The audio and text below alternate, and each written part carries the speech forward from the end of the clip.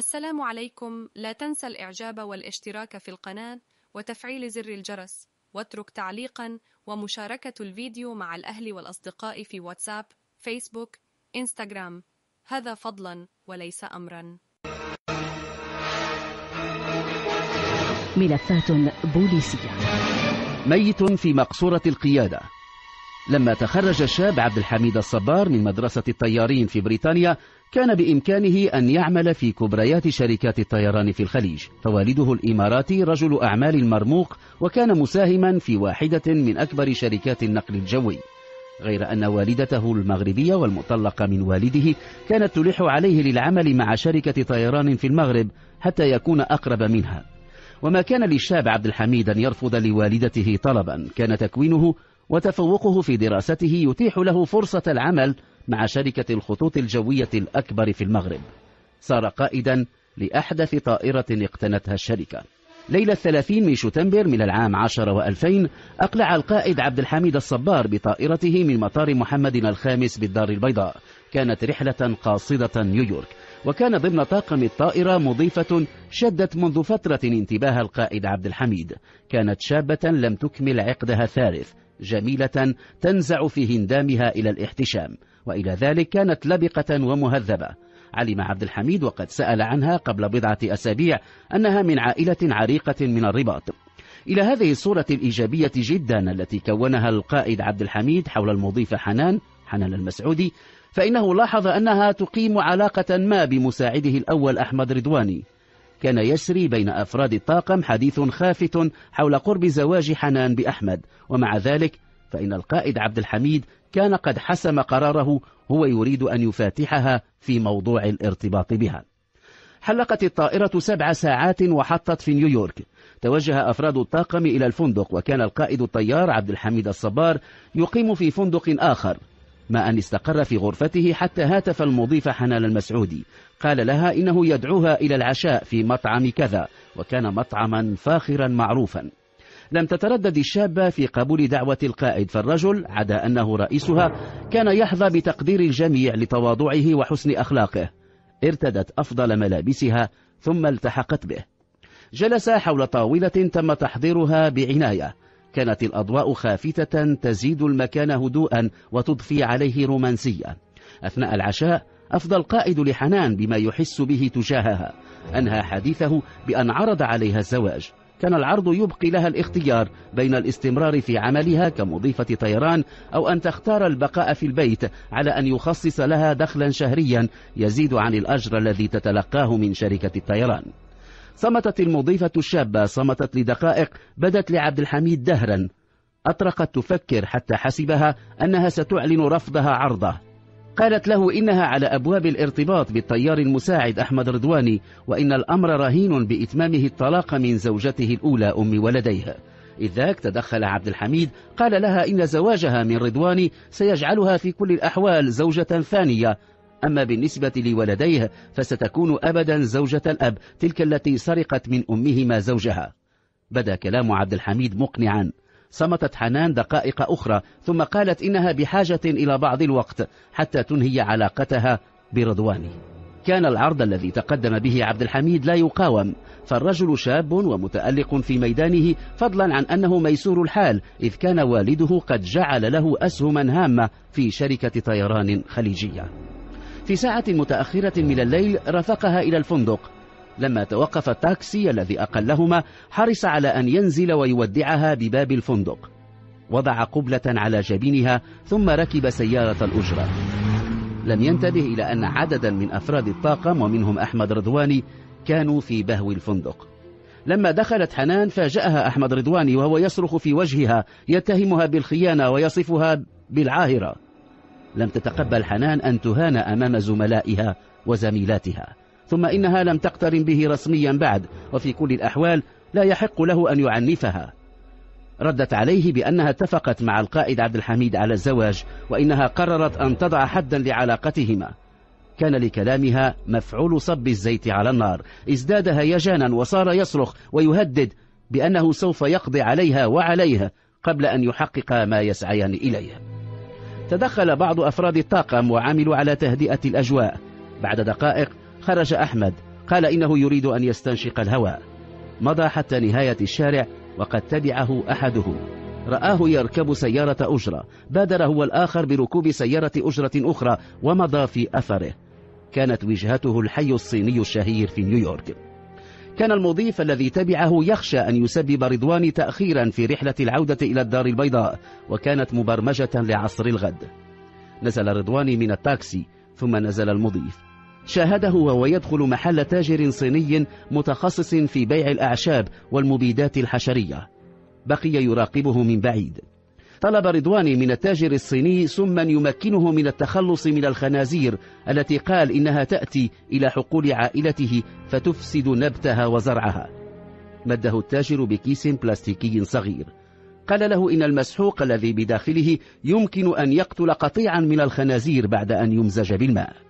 خرج رضواني وبينما كان يريد سيارة أجرة صادف المضيف الذي كان يتبع خطواته. في الحقيقة افتعل المضيف تلك الصدفة. توقفت سيارة أجرة صفراء وأقلتهما إلى الفندق. خلال المسار ظل المضيف يهدئ رضواني. لم يسأله عما كان يفعله في محل العشاب الصيني. كان يحسب أن رضواني ذهب لشراء مخدر للاستعمال الشخصي. لما وصل إلى الفندق مضى كل واحد منهما إلى غرفته. في الصباح التقى أفراد الطاقم في مطعم الفندق لتناول وجبة الفطور وقد استغرب الجميع الانشراح الذي كان يبدو على أحمد رضواني. كانت ابتسامته ولطف حديثه يناقضان تماما حالة الهيجان التي كان عليها الليلة الماضية. أكثر من ذلك حرص الرجل على أن يبدي أسفه على الذي حدث تلك الليلة وأمام الجميع اعتذر لحنان. مضى كل واحد إلى قضاء مآرب له. كان الموعد الواحد زوالا في الفندق للتوجه إلى المطار. هناك التقى الطاقم بالقائد عبد الحميد الصبار. لم يكن قد علم بالذي حدث بعد أن ودع حنان في باب الفندق. صعد الجميع إلى الطائرة. أخذ كل واحد مكانه ثم بدأ استقبال الركاب. في مقصورة القيادة جلس القائد عبد الحميد وإلى يساره مساعده أحمد رضواني. تم تشغيل المحركات وضبط أجهزة الملاحة. بعد نحو نصف ساعة كانت الطائرة مستعدة للإقلاع. صدح صوت المضيفة القائد عبد الحميد الصبار يرحب بكم على متن هذه الرحلة المتوجهة إلى الدار البيضاء. بعد سبع ساعات من الطيران سنصل بحول الله إلى مطار محمد الخامس المرجو من السادة المسافرين ربط أحزمة السلامة. كثير من المسافرين يحفظون عن ظهر قلب تلك التعليمات والعبارات التي ترددها مضيفات الطيران والمضيفون في كل رحلة. تختلف اللغة ولكنها التعليمات ذاتها. أقلعت الطائرة بعد ساعة من التحليق باشر الطاقم توزيع بعض المرطبات. كانت حنان المسعودي تتولى خدمة زبناء الدرجة الأولى والقائد ومساعده. كانت تعلم كما تعلم مضيفات أخريات أن القائد عبد الحميد الصبار كان يحب ألا يتناول إلا ما يأتي به من منزله من عصائر وحلويات. كان كثيرا ما يشيد بعصير الكركديل الذي كانت تعده له والدته. أخذت حنان قنينة عصير القائد من الثلاجة وناولته كأسا ثم وضعت القنينة جانبا. كان الجو هادئا ولم تعاني الرحلة من أي اضطراب. بعد أربع ساعات من الطيران حان موعد تقديم وجبة العشاء. مر كل شيء بسلام. تناول القائد عبد الحميد فطائرة أعدتها له والدته. كانت الطائرة تقترب من الساحل الأطلسي للمغرب. بدأ الطاقم اتصالاته ببرج المراقبة في مطار محمد الخامس. وفجأة قال القائد عبد الحميد إنه يحس بدوار شديد وألم رهيب في معدته. لم يلبث أن فقد الوعي. اتصل مساعده أحمد رضواني ببرج المراقبة في مطار محمد الخامس. أبلغ عن الذي حدث. جاءته التعليمات تأمره بأن يقفل باب مقصورة القيادة وأن يحرص على أن لا يعلم أحد بما حدث. تباعا تلقى توجيهات مكنت من إنزال الطائرة بسلام في المطار. توقفت الطائرة في مدرج جانبي. كانت سيارة إسعاف في الانتظار. صعد طبيب إلى مقصورة القيادة. كان القائد عبد الحميد الصبار قد فارق الحياة منذ أكثر من ساعتين. بدأ المسافرون يغادرون الطائرة بينما أمر أفراد الطاقم بالبقاء على متنها. حضر نائب وكيل الملك وعميد الشرطة بالمطار. قام فريق من الشرطة العلمية بجمع الأواني وما بقي من الطعام الذي تم تقديمه في مقصورة القيادة. أيضا تم تجميع كل ما استعمله المسافرون. نقلت جثة قائد الطائرة إلى مستودع الأموات. أسرع الطبيب الشرعي باستخراج ما في معدة الهالك. سريعا تم تحليل المحتوى. كانت به آثار سم شديد المفعول. استمع المحققون إلى كل أفراد الطاقم وقام مساعد قائد الرحلة أحمد رضواني بتقديم عرض مفصل عن الرحلة. جاءت أقوال آخرين من أفراد الطاقم خالية مما قد يأتي بإضافات. ولكن أحد المضيفين ذلك الذي اتبع خطوات رضواني ليلة غاضب وثار نطق بما يشكل الحلقة المفقودة. حكى عن لحظات الغضب التي تملكت الليلة الماضية أحمد رضواني وحكى عن تهديده بالتخلص من حنان ومن القائد الصبار معا. حكى أيضا عن تلك الزيارة الخاطفة التي قام بها رضواني إلى الحي الصيني في نيويورك. تم الاستماع إلى حنان التي في البداية حاشت الحديث عن عشائها مع عبد الحميد في نيويورك ولكنها اضطرت إلى كشف تفاصيل ذلك اللقاء وجاء كلامها مكملا لشهادة المضيف الذي تتبع رضواني حتى وصل الحي الصيني. الزجاجة التي كانت تحتوي على بقايا عصير الكركديل الممزوج بالسم كانت تحمل بصمات الهالك ولكن أيضا بصمات المضيفة حنان المسعودي وبصمات مساعد الطيار أحمد رضواني. في جملة ما حجزه المحققون كيس بلاستيكي صغير كانت به بقية من مسحوق رمادي. كان الكيس يحمل أثر بصمة لرضواني ولم تكن عليه آثار بصمات أخرى. لاحقا قالت نتيجة التحليل المخبري إن ما في الكيس سم الأرملة السوداء تلك العنكبوت القاتلة. كل الأدلة كانت تثبت أن رضواني في تلك الليلة أراد الانتقام من عبد الحميد الصبار بقتله ومن حنان بأن يلصق بها التهمة. لما أحاط به المحققون كان عليه أن يحكي التفاصيل وقد حكى تم تقديمه إلى النيابة العامة بتهمة تسميم قائد الطائرة وقتله وتهديد حياة الركاب. ملفات بوليسية. نار التهمت الدوار. قبل ثلاثة أعوام في ليلة صادفت الخامس والعشرين من أبريل التهم حريق مهول دوار ابن الشافي الواقع بأطراف مدينة صفرو. كانت تسكن الدوار في براريك نحو مئتي أسرة. فاجأت النيران السكان وهم نيام. عمت حالة رعب شديد. على صراخ الأطفال وعويل النساء بينما مضى الشباب والرجال يجلبون الماء في محاولة لتطويق النيران التي كانت تزحف بألسنتها مسرعة بين دروب الحي الصفحي ورغم إسراع رجال الإطفاء في التوجه إلى دوار ابن الشافي ورغم تسخير كل الوسائل والاستعانة بالوقاية المدنية في فاس ومكناس فإن تطويق النيران اقتضى جهدا مسترسلا على مدى ثمان ساعات. لما انحسرت اللهب وراء ستر الدخان ارتسم مشهد مأساوي مشهد بلون الفحم. الأكواخ التي كانت منتصبة حتى منتصف الليلة الماضية صارت أشلاء خشبية وقطع زنك متفحمة. في مكان غير بعيد عن الدوار تجمع الذين كتبت لهم النجاة من هذا الجحيم الذي زحف على دوار ابن الشافي. كانت الحصيلة ثقيلة عشرات من القتلى والمصابين.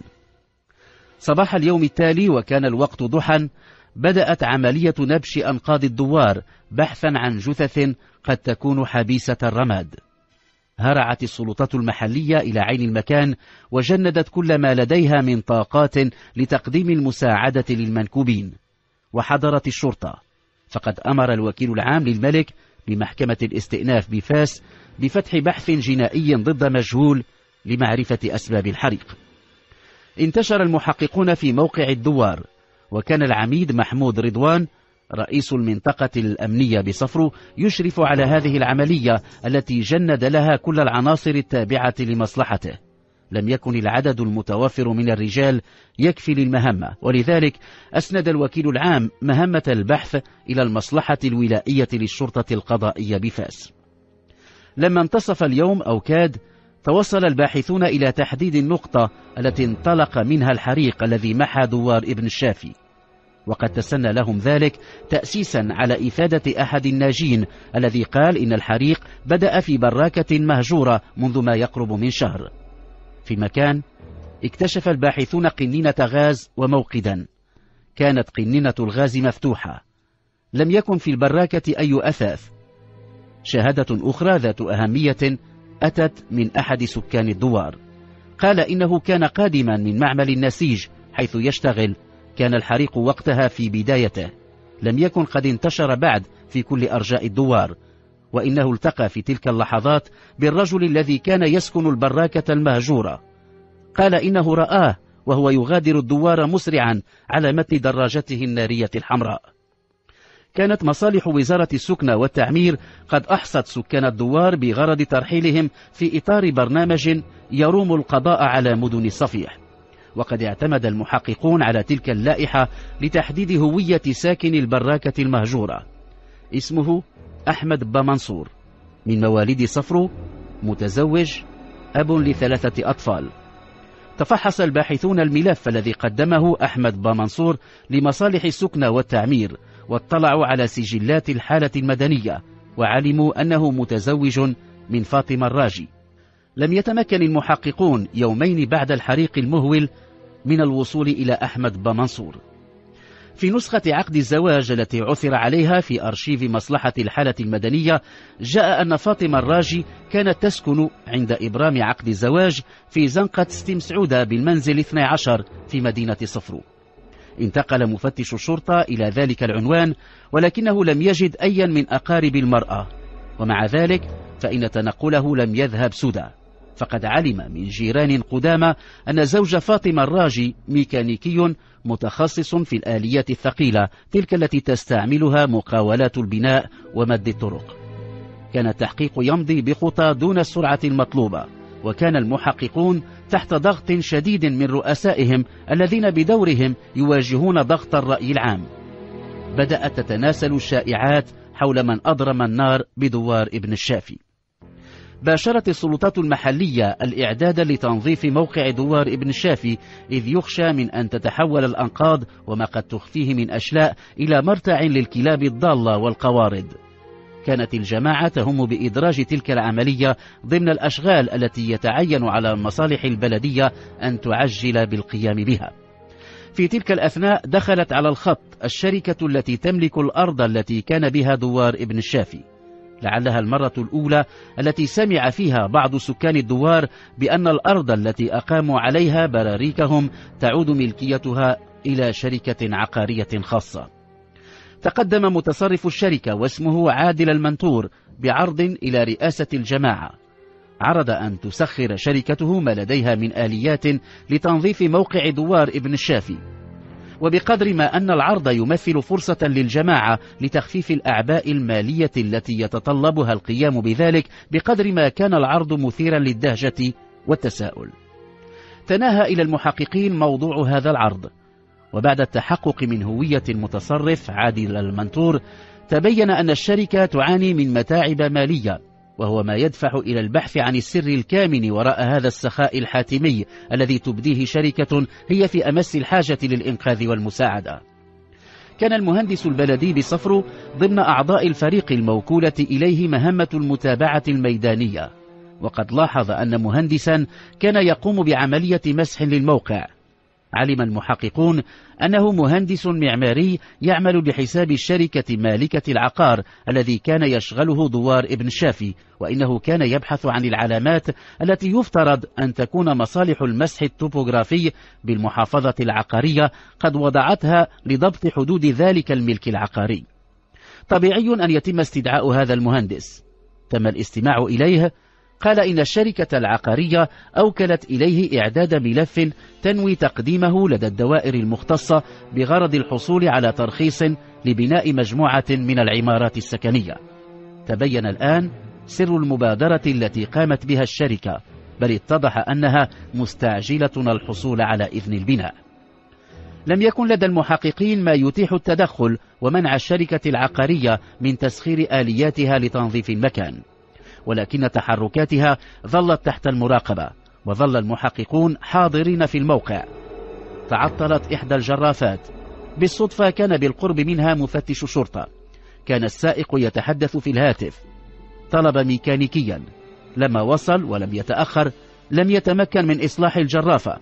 هاتف السائق الشركة من جديد وسمعه المفتش يحتج ويطالب بإرسال بامنصور تذكر المفتش أحمد بمنصور ساكن البراكة المهجورة من حيث انطلق الحريق. لم تكن التحريات قد مكنت بعد من توفير ما يثبت أن حريق دوار ابن شافي كان عملا إجراميا. اتصل المفتش برئيسه وأبلغه بأن أحمد بمنصور صاحب البراكة المهجورة التي كانت منطلق الحريق يعمل ميكانيكيا لدى الشركة العقارية. تم تكليف العميد محمود رضوان باستكمال البحث في هذا المسلك. توجه إلى مقر الشركة العقارية حيث حصل على عنوان أحمد بمنصور. كان الرجل يسكن رفقة أفراد عائلته في شقة بعمارة حديثة البناء في حي السعادة الشعبي. لم يكن في البيت وعلم من زوجته أنه لم يأتي منذ عدة أيام ولأسباب تجهلها طلب العميد من المرأة رقم هاتفها. كان قد فكر في السعي إلى الحصول على إذن قضائي للتنصت على مكالماتها عله يرصد اتصالا من زوجها يمكن من تحديد مكانه. في نهاية المطاف تسنى له ذلك. تم استدعاء متصرف الشركة. ثبتت صفته القانونية. وكان عليه أن يجيب عن سؤال حول علاقته بأحمد بمنصور. رد بأنه من مستخدمي الشركة. تم الاستماع إليه وأقفل المحضر. أثناء التنصت على المكالمات التي تتوصل بها زوجة بمنصور رصد اتصال هاتفي من هذا الأخير وقد أخبرته زوجته بأن الشرطة تبحث عنه. لم يتسن تحديد مكانه وكان قد تواعد مع زوجته على اللقاء في مكان لم يعرفه المحققون. بعد ساعات طرق الباحثون باب شقة عائلة بمنصور كانت الزوجة هناك. أبدت تعاونا. قالت إنها قابلت زوجها وإنه كان على حافة الجنون.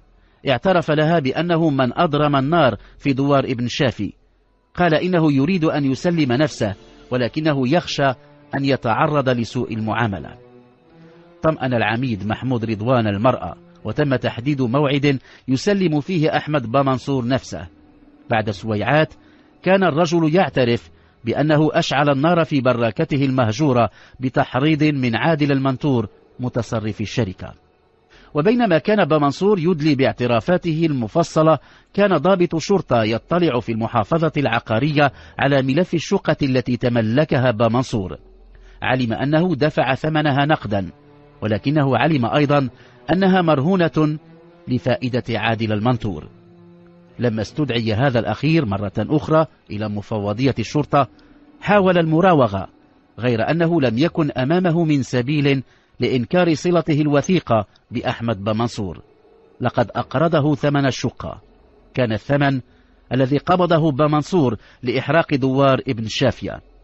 وضع الرجلان رهن الاعتقال وتم تقديمهما أمام الوكيل العام للملك بمحكمة الاستئناف بفاس لمتابعتهما بتهمة إضرام النار عمدا بما نتج عنه موت وجرح.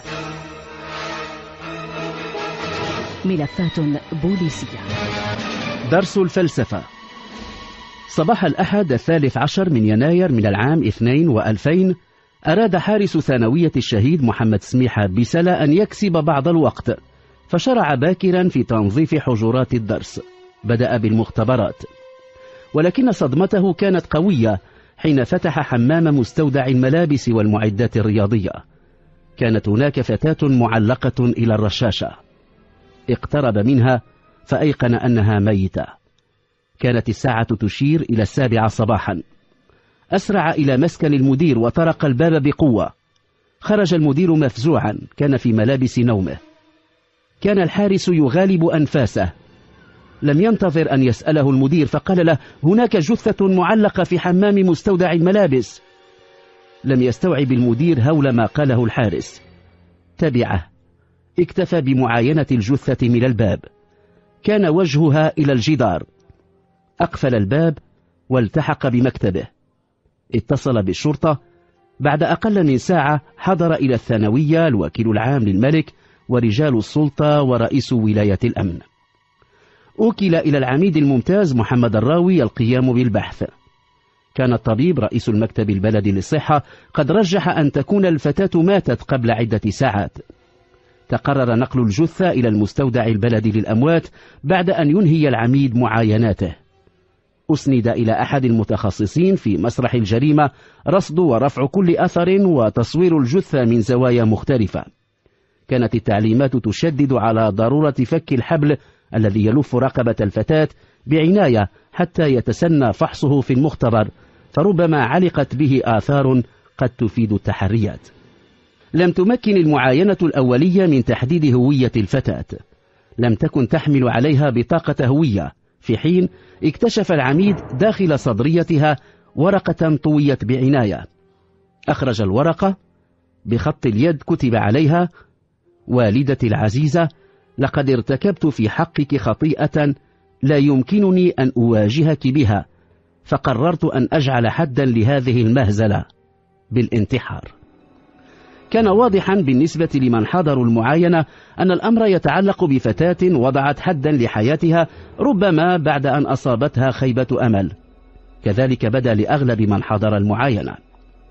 الآن على العميد الممتاز محمد الراوي وأفراد فريقه أن يكتشفوا سبب انتحار الفتاة إن كان الأمر يتعلق حقا بحالة انتحار. التجارب علمت العميد ألا يصدر الأحكام دون التوفر على الأدلة والحجج. احتفظ بالورقة التي اكتشفت في صدرية الفتاة وسعى إلى تحديد هويتها واستجواب محيطها. أمر أحد أعوانه برفع بصماتها. كانت تبدو فتاة في ربيعها الثامن عشر. خمن العميد أنها ستكون حاصلة على بطاقة التعريف الوطنية إن هي كانت من تلاميذ الثانوية. نقلت الجثة إلى المشرحة. وفي مفوضية الشرطة نطقت البصمات بهوية الفتاة. اسمها عتيقة بنت إبراهيم السلوي من مواليد العام 83 في العاشر من مارس. عنوانها حي المعمورة شارع علال الفاسي. تم الانتقال إلى هذا العنوان. قابل الباحثون والدة الهالكة السيدة رحمة الوطواطي وطلبوا منها مرافقتهم إلى المشرحة. هناك أغمي عليها بعد أن تعرفت على جثة ابنتها عتيقة. دخلت في غيبوبة فنقلت إلى المستشفى. بعد أن أفاقت بعد يومين تسنى للمحققين أن يستجوبوها. قالت إنها منذ طلاقها من والد عتيقة وجدت نفسها في مواجهة التصرفات الطائشة لابنتها. قالت إن غياب الأب أتاح للبنت فرص التصرف على هواها. سألها المحققون عن علاقات عتيقة ردت الأم المكلومة بأنها لا تعرف عنها شيئا. أضافت أن عتيقة كانت تغيب عن البيت من حين لآخر متذرعة بحضور دروس الدعم والتقوية. قالت أم عتيقة أيضا إن ابنتها لم تكن من طينة الفتيات المنغلقات على أنفسهن كما أنها لم تكن تعاني من مرض عقلي وإلى كل ذلك فإنها ليست بالشجاعة التي تقودها إلى الانتحار. قالت إنها تشك في انتحار عتيقة. كان في كلام والدة عتيقة ما يشجع الباحثين على تعميق تحرياتهم في محيطها المدرسي. وقد تم الاستماع إلى زملائها وزميلاتها في القسم. وتم التركيز على مجموعة منهم كانوا مثلها يتابعون دروسا للتقوية والدعم في الفلسفة مدفوعة الأجر كان يقدمها أستاذ المادة. لم يستنتج الباحثون الكثير إلا أنهم توقفوا عند نقطة أجمع عليها التلاميذ وهي أن عتيقة في الأسابيع الأخيرة كانت كثيرة الغياب عن المدرسة. في الثانوية بجوار المشرب لاحظ الباحثون آثارا حديثة لعجلات سيارة استوقفت هناك. كانت آثارا واضحة. وضعوا قوالب لها واستنسخوها علها تنطق بشيء ما. وفي المفوضية قام رئيس مصلحة مسرح الجريمة بفحص تلك الورقة التي اكتشفت في صدرية عتيقة. استرعى انتباهه وجود نقطة يفترض أن تكون نقطة نهاية كلام بعد عبارة هذه المهزلة. بعد النقطة جاءت عبارة بالانتحار. وقد لاحظ أن الكيفية التي أضيفت بها تثير الشك. تمت الاستعانة بخبير في الخطوط خلص تأسيسا على ما توفر لديه من مواد ومنها نماذج من خط الهالكة إلى أن الرسالة التي عثر عليها كتبت بخط عتيقة. ولكنه أثار الانتباه إلى أن عبارة بالانتحار قد تكون كتبت بيد كاتب ما سبقها ولكن الواضح أنها أضيفت لاحقا. لم تكتب في الوقت نفسه. والدتي العزيزة لقد ارتكبت في حقك خطيئة لا يمكنني أن أواجهك بها فقررت أن أجعل حدا لهذه المهزلة. بالانتحار. تلك هي الرسالة. تم إخضاع الحبل الذي علقت به عتيقة لفحص دقيق. وتبين أن جزءه الأسفل تعرض لضغط بما يفيد بأن الفتاة ربطت بالحبل من رقبتها ثم رفعت لتعلق عند الرشاشة. في الاستنتاج الأولي خلص خبراء مسرح الجريمة إلى أن الراجح أن تكون الفتاة قتلت ثم علقت وأن فرضية الانتحار قد تكون مستبعدة. عصر الاثنين باشر الطبيب الشرعي عملية التشريح. اكتشف أن الفتاة حامل في شهر الثالث وأنها لم تكن بكرا. ورجح أنها ربما ماتت قبل أن تعلق بواسطة الحبل إلى رشاشة حمام مستودع الملابس في جملة التلاميذ الذين استمع إليهم الباحثون كانت عائشة المؤدبة الصديقة الوحيدة لعتيقة. قالت إنها أمنتها على سر قبل أيام. قالت لها إنها تواجه مشكلة معقدة قد تؤثر على مسارها الدراسي. كانت عتيقة وزملاؤها مقبلين على اجتياز امتحان البكالوريا. قالت إنها أفضت إليها بذلك قبل أيام عندما حضرتا معا درسا للدعم في الفلسفة من جملة الدروس التي كان يقدمها لهم بمقابل مالي الأستاذ فاروق المعتوق. لما ألح المحققون على عائشة قالت لهم إن عتيقة أبلغتها بأنها مغرمة بالأستاذ فاروق الذي بالمناسبة كان يحظى بإعجاب الجميع في الثانوية. أضافت أنها شكت مرة في أن عتيقة تتصل بالأستاذ المعتوق خارج أوقات الدراسة والدروس الإضافية. التحريات التي تم إجراؤها واستجواب الأساتذة لم يمكن المحققين من تسجيل ما قد يسلط الضوء على الأستاذ المعتوق. فقد كان أستاذا مقتدرا يحظى باحترام جميع زملائه. ومع ذلك فإن الباحثين فضلوا أن يدققوا النظر إلى حياة الأستاذ. كان متزوجا زوجته متحجبة وربة بيت وله منها عدة أبناء وبنات. المراقبة التي أقيمت حول الثانوية مكنت من رصد سيارتين لهما عجلات تتطابق رسومها مع تلك التي استنسخها خبراء مسرح الجريمة. إحداهما سيارة مدير الثانوية والثانية سيارة أستاذ الفلسفة فاروق المعتوق. لما سئل المدير عما إذا كان يدخل سيارته ساحة المدرسة نفى وقال إنه يتوفر على مرآب في مسكنه كما أنه لم يستعملها خلال الأيام الأخيرة.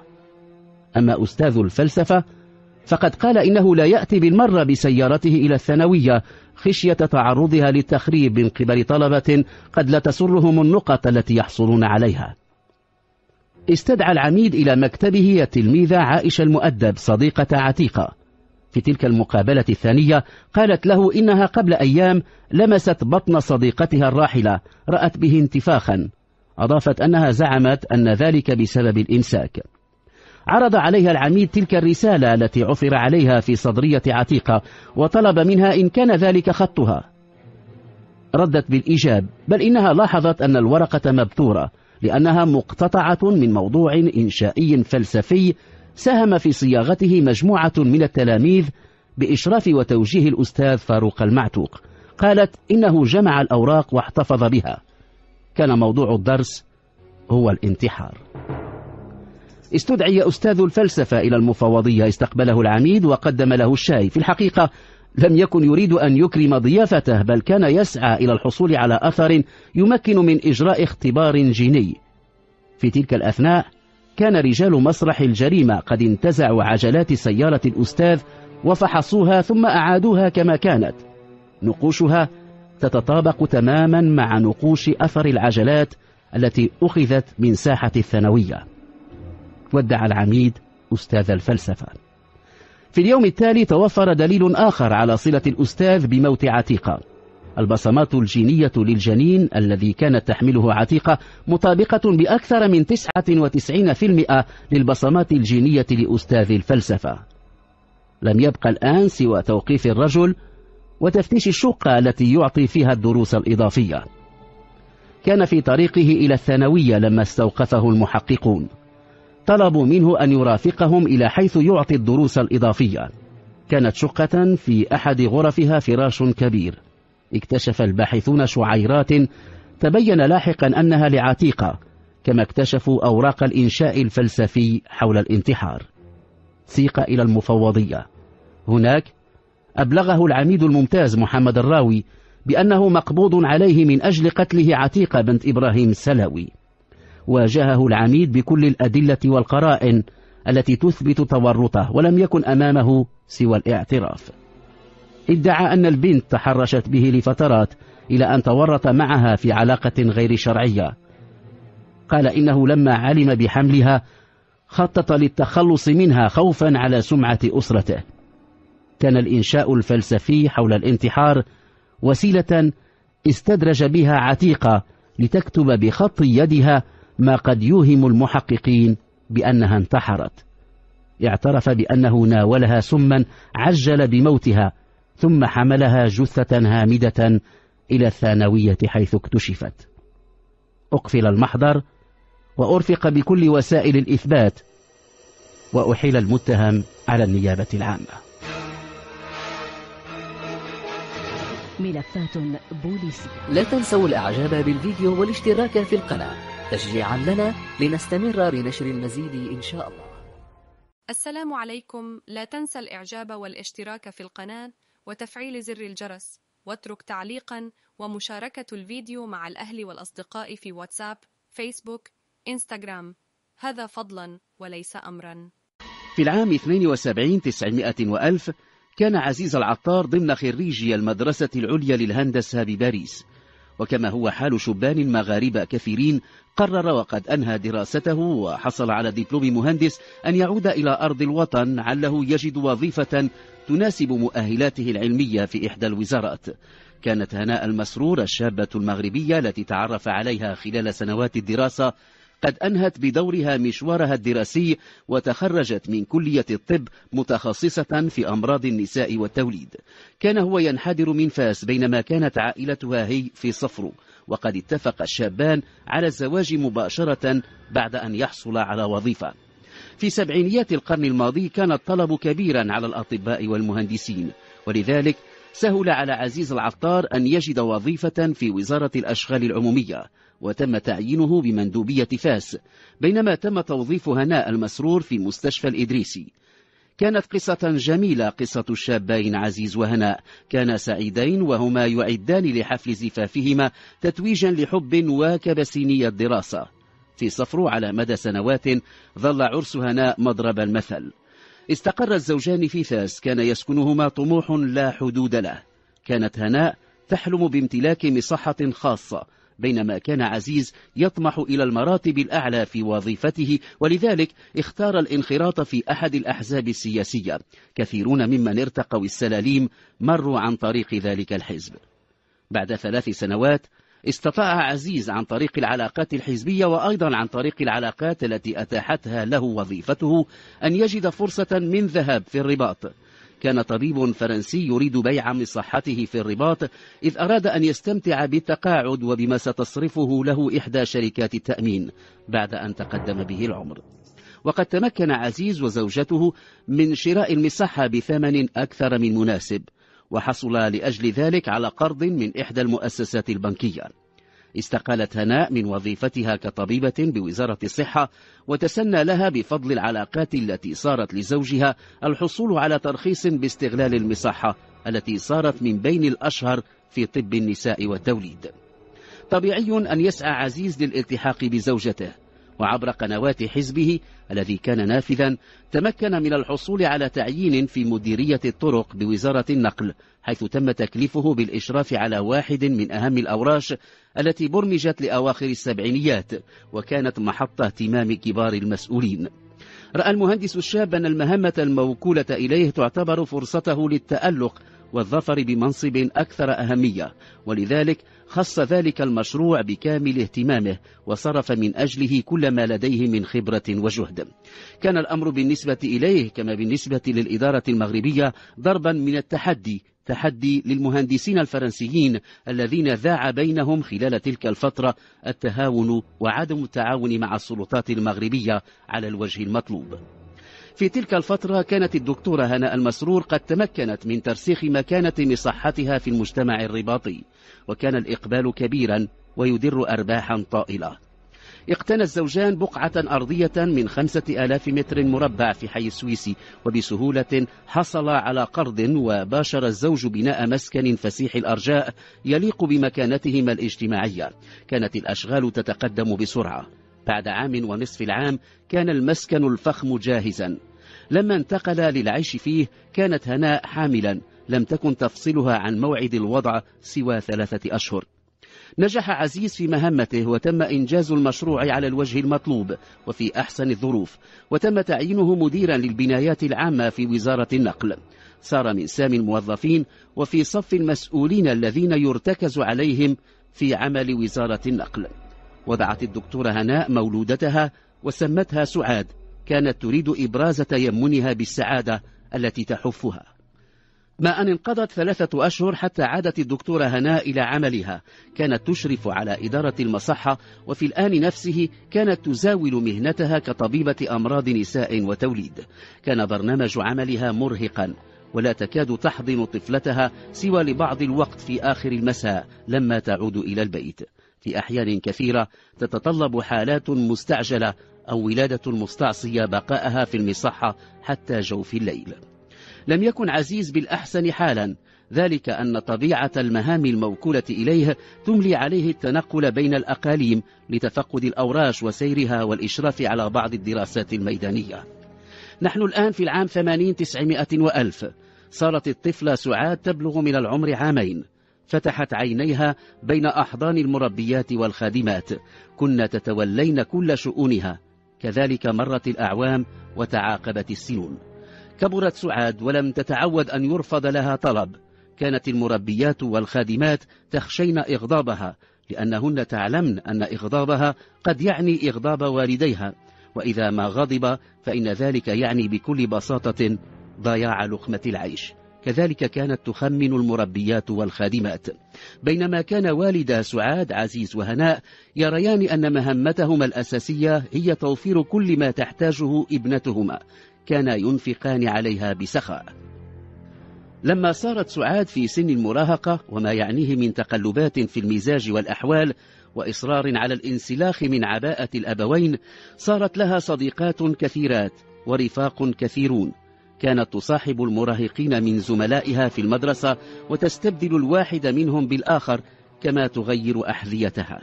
كانت رهن إشارتها يوميا مبالغ هامة وكانت تنفق بسخاء يشبه الجنون. ولما ذاع أمرها في الثانوية صار الشباب يتهافتون على ودها ينالون من جمالها وفي أسوأ الحالات من مالها.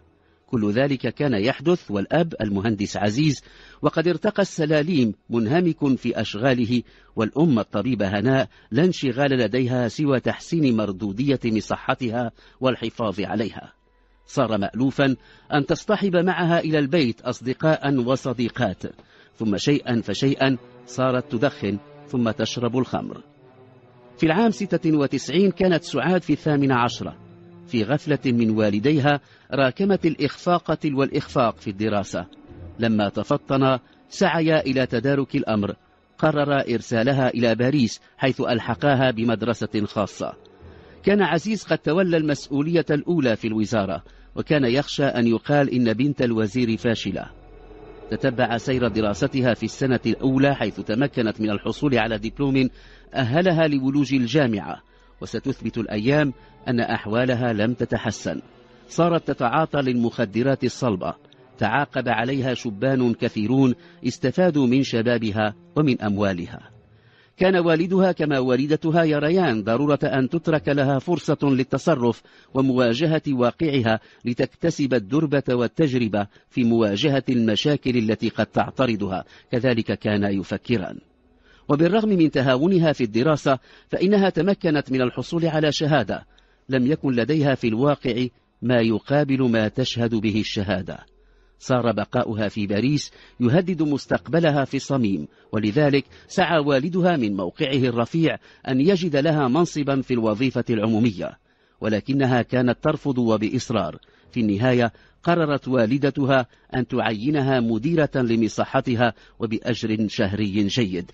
ومنذ الأيام الأولى لتوليها منصبها الجديد بدا تعاملها بتعال مع العاملين في المصحة بمن فيهم الأطباء. أكثر من ذلك صارت تتحرش بكثير من الشباب ومن كان يرفض الانصياع لها تدفعه إلى الرحيل. استشعرت أمها خطورة سلوكها على سير المصحة ولذلك طلبت منها ألا تأتي إليها ووعدتها بأنها ستحتفظ لها بالأجرة الشهرية التي تصرفها لها. منذ ذلك الحين صارت سعاد لا تستيقظ من النوم إلا عصرا ثم تغادر فيلا العائلة وتنصرف لقضاء ساعات المساء والليل متنقلة بين حانة وملهى لا تعود إلى البيت إلا بعد أن يقترب الفجر. تدخل غرفتها تغلق الباب ثم تنام. قضت على ذلك الحال بضعة أسابيع. ثم لم تعد تلاقي الإقبال الذي كانت تلاقيه في البداية ولذلك صارت تتحرش بالسائقين الذين يعملون في منزل أسرتها. كانت تنتقي الشباب منهم. وكلما قضت من أحدهم وطرها افتعلت مشكلة لطرده من العمل. وكثيرا ما كانت تصطحب معها عشاقها إلى البيت. كانت الخادمات خاصة تراقبن ما تقوم به الشابة ولكنهن لم تكن تجرؤن على الكلام. الصمت لمن في مثل أوضاعهن طوق نجاة. وحين يتعلق الأمر بلقمة العيش يتعين الحفاظ عليها بكل الوسائل فما بالك حين يكفي عدم تدخل المرء فيما لا يعنيه؟ تخطت سعاد كل الحدود وصارت أصداء سلوكها ومغامراتها اليومية في الحانات والملاهي الليلية تصل تباعا. أحس والدها بأن ابنته صارت مصدر تهديد لمساره المهني فضلا عن سمعته. بل لقد تم استدعاؤه وتنبيهه إلى الأمر وكان عليه أن يبحث عن حل للمشكلة. متأخرا اكتشف الأب أن ابنته الوحيدة صارت مدمنة الخمر والمخدرات الصلبة ولذلك التجأ إلى إيداعها مستشفى برشيد بعيدا عن الرباط وبعيدا عن المحيط الموبوء الذي كانت ترتاده ويرتادها. مكثت ثلاثة أشهر رهن العلاج من الإدمان. كانت حالتها تتحسن وأقسمت بأغلظ الأيمان أنها لن تعود إلى ما كانت عليه. لما غادرت مستشفى برشيد اتخذت الدكتورة هناء من ذلك اليوم مناسبة أقامت فيها حفلا في منزل العائلة وقد رتبت من قبل مع إحدى زميلاتها لقاء يشبه الصدفة بين سعاد وشاب من عائلة محترمة. كان الغرض خلق الأجواء لعلاقة يكون مآلها الزواج. بعد جلسة التعارف قرر الشابان اللقاء منفردين. يومها اشترطت عليه إن أراد الزواج منها أن يلتزم بعدم التدخل في علاقاتها الخاصة فضلا عن أنها قالت له بصراحة ليس بعدها صراحة إنها إن وافقت على الزواج منه فإنها ستكون فعلت إرضاء لوالديها. أصابت كرامة الشاب في العمق ولذلك وهل كان ممكنا تصور قرار آخر؟ قرر الانسحاب وطوى الصفحة. عادت إلى سابق عاداتها. عادت تلاحق الشباب لإشباع نزواتها في تلك الفترة التحق ببيت عزيز العطار شاب للعمل كسائق. كان له مستوى جامعي وبما أنه لم يتمكن من الحصول على عمل فقد قبل بالعمل كسائق ريثما يتيسر له الحصول على عمل يليق بمستواه الدراسي. كان السائق الشاب يسمى عادل المرصافي. كان شابا ذا أخلاق وتدين وكان يعاني من مرض في القلب يلزمه تناول دواء كل مساء قبل النوم. ولذلك ومنذ اليوم الأول أخبر المسؤولة عن العاملين في منزل السيد عزيز بأنه بعد أن يتناول الدواء لا يستطيع العمل. كان الشاب قد أحس منذ بضعة أيام بأن سعاد تلاحقه هو يعلم مبتغاها وقد حرص على أن يتجاهل ما ترنو إليه. وفي الآن نفسه كان يتفادى كل ما قد يحسب عليه إخلالا بواجبه المهني. ولذلك صار يؤخر تناول الدواء إلى ما بعد الحادية عشرة ليلا حين يتناول تلك الحبة ينام نوما عميقا ولا يستيقظ إلا بعد مرور ثمان ساعات. ذات ليل صيفي بعد أن تناول دواءه خلد السائق الشاب عادل إلى النوم وترك باب غرفته مواربا. اتصلت به سعاد بالهاتف ولم تتلقى أي جواب وقد غاضها ذلك خاصة وأنها عادت من جولتها المسائية خالية الوفاض. اتصلت عدة مرات وفي نهاية الأمر جاءت إلى غرفته فتحت الباب كان نائما ولم يكن يرتدي سوى تبان. حاولت أن توقظه ولكنها لم تنجح. لاحظت وجود علبة دواء على مائدة قرب السرير. أخذتها وصارت تقرأ المعلومات التي كتبت عليها. بقلم أزرق بخط اليد كتب عليها حبة واحدة قبل النوم. كان في جملة المعلومات التي قرأتها أن الحبة من ذلك الدواء بعد تناولها مباشرة تجعل الشخص يغرق في نوم عميق لسبع أو ثمان ساعات. وقتها فقط أيقنت أن عادل لن يفيق قبل الصبح. عصر اليوم التالي بعد أن استيقظت نادت عليه وبخت لأنه لم يجب على ندائها بالأمس. شرح لها قصته مع الدواء. مساء ذلك اليوم ارتدت ثيابا تشي بمفاتنها وطلبت منه أن يرافقها لقضاء بعض الحاجيات. لمس في لهجة خطابها لينا لم يعهده من قبل. عاد في العاشرة ليلا مضت إلى غرفتها ومضى إلى غرفته. ولكنها اتصلت به هاتفيا بعد ربع ساعة وطلبت منه أن يأتيها بوجبة عشاء طلبتها من مطعم قريب. لما عاد طلبت منه أن يأتيها بالعشاء إلى داخل غرفتها. تردد ولما نهرته انقاد. لما طرق الباب وآذنت له بالدخول وجدها عارية. ألقى بما في يده ثم أسرع نحو غرفته. دخل تناول حبة الدواء ثم بعد ربع ساعة كان قد نام. لحقت به في غرفته. لما دخلت وقد استعملت نسخة من المفتاح وجدته نام. صارت تحاول أن توقظه وكانت تقول إنها ستمنحه ما يريد لقاء ليلة يقضيها معها. لم يكن يجيب. أخذت علبة الدواء ومضت إلى غرفتها. كانت شديدة التوتر وأرادت أن تتخلص من حسرتها بأن تنام. أخذت ثلاث حبات وابتلعتها تباعا ثم استلقت على الفراش. كان لباسها الشفاف يظهر تفاصيل مفاتنها. قبيل الفجر عادت والدتها الدكتورة هنا رفقة والدها عزيز من حفل كان مدعوين إليه. لفت انتباه الطبيب أن ابنتها لم تطفئ النور في غرفتها وبينما مضى عزيز توجهت هي إلى غرفة سعاد. فاجأها أن الباب مفتوح وأن سعاد شبه عارية مستلقية على الفراش. وقفت بالباب ونادتها لم ترد. تقدمت وضعت يدها على جبينها. كانت به برودة غير عادية. جست نبضها كانت ميتة. حاولت الطبيبة أن تتماسك نادت على زوجها. كانت أرضية الغرفة تعج بقنينات الخمر الفارغة وعلب السجائر. سعى الزوجان بداية إلى جمع كل تلك الأشياء التي تسيء إلى سمعتهما. اكتشفا علبة الدواء التي جاءت بها من غرفة السائق عادل المرصافي. نادت الطبيبة على رئيسة الخدم لما سألتها عن الذي حدث قالت إنها نامت في الحادية عشرة ولم تشعر بأي شيء. لما عرضت عليها الدواء قالت إنه للسائق عادل. أمرها عزيز أن توقظه. وجدته غارقا في النوم. اكتشفت بالقرب من فراشه ورقة مكتوبة بخط سعاد. لم تلمسها وأخبرت سيد المنزل بذلك. مضى إلى الغرفة كتبت سعاد في الورقة أنا مستعدة لإعطائك كل ما تريد ولكن لا تقتلني بسمك. لم تكن بعدها كلمات أخرى. رأى السيد عزيز ووافقته زوجته الدكتورة أن في تلك الرسالة ما يبرئ سمعة العائلة واتفقا على أن السائق هو الذي ناولها السم الذي قضى على حياتها. تم الاتصال بالشرطة حضر العميد الإقليمي محمد البارودي ومعه عدد من أعوانه ومنهم المسؤول عن فرقة مسرح الجريمة. لم تمكن المعاينة الميدانية من كشف أي بصمة غير بصمات الهالكة. ثم تم نقل الجثة إلى مستودع البلد للأموات.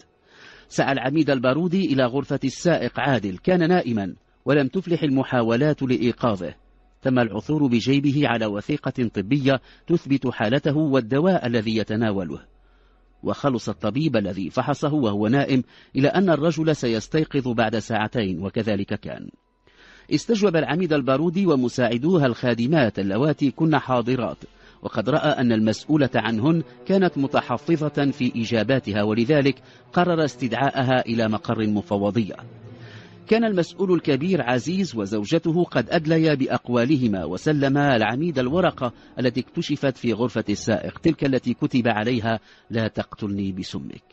لما أفاق السائق فاجأه وجود ذلك العدد من رجال الشرطة في غرفته. اقتيد إلى المفوضية حيث صرح بأنه نام بعد أن تناول دواءه كالمعتاد. ولما سئل عن سعاد قال إن آخر عهده بها لما أحضر لها وجبة العشاء. ولما ألح عليه المحققون باح بما كان يتكتم عليه وقال إنه رفض الاستجابة لنزواتها. أبلغ أنه متهم بقتلها بإعطائها من الدواء الذي يتناوله. إذ ذاك أدخل يده في جيبه وصار يصرخ أين علبة دوائي. قال له أحد المحققين إنها وجدت في غرفة سعاد وإنها تناولت منها أكثر من حبة فيما يبدو. صار عادل يعلن براءته من المنسوب إليه وبأعلى صوت. في مكتب مجاور كانت قد فكت عقد لسان رئيسة الخدم التي حكت تفاصيل ما كانت تقوم به سعاد كما أثنت على سلوك عادل. سئل السائق عن تلك الرسالة التي تقول أنا مستعدة لإعطائك كل ما تريد ولكن لا تقتلني بسمك. أجاب بأنه لا علم له بتلك الرسالة ولكنه أشار إلى أن سعاد كانت تناديه المسموم كلما أعرض عن نزواتها. ختم العميد محمد البارودي تقريره عن هذه القضية بأن رجح فرضية أن تكون سعاد عن قصد أو عن غير قصد هي التي وضعت حدا لحياتها. تمت إحالة الملف على وكيل الملك الذي قرر إخلاء سبيل السائق عادل المرصافي إذ لم يتوفر ما يمكن الاعتماد عليه لمتابعته. ملفات بوليسية. توأمان على جانبي الحدود. في الهزيع الأخير من أربعينيات القرن الماضي استقر عبد الرحمن السجلماسي سائق الحلية الفضية القادم من فيجيج بمدينة بشار التي توجد حاليا في التراب الجزائري. كان المغرب كما الجزائر تحت الاحتلال الفرنسي الذي غير الكثير في الحدود بين البلدين. نحن الآن في العام 48 900 وألف. كان عبد الرحمن السجلماسي قد دأب على تسويق الحلي الفضية التي يصنعها والده المختار السجلماسي وزميل له في الحرفة يهودي الديانة يدعى موشي بن عمران.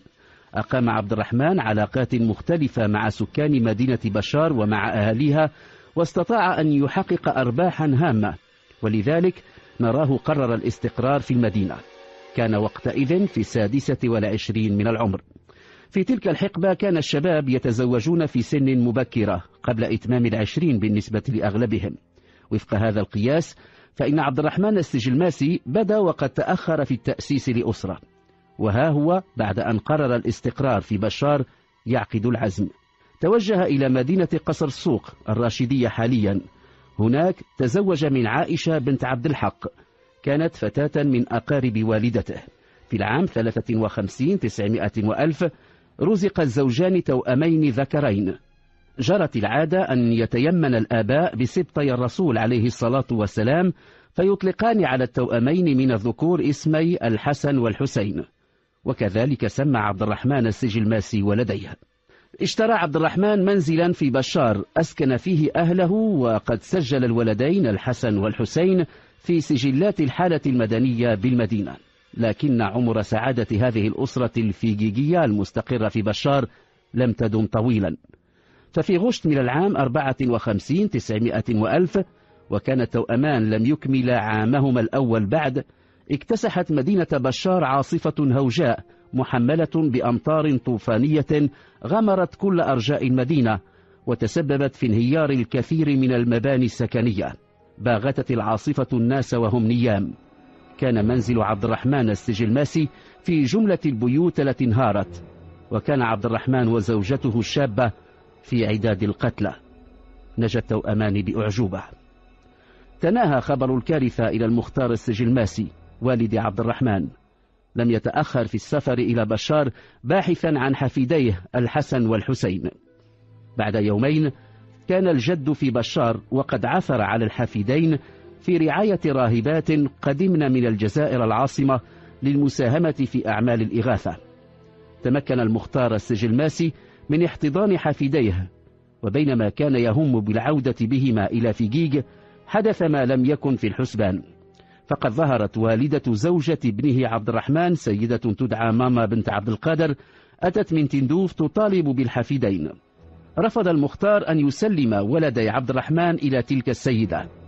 كانت امرأة ثرية تقول إنها قادرة على كفالة الصبيين وتوفير تربية حسنة لهما.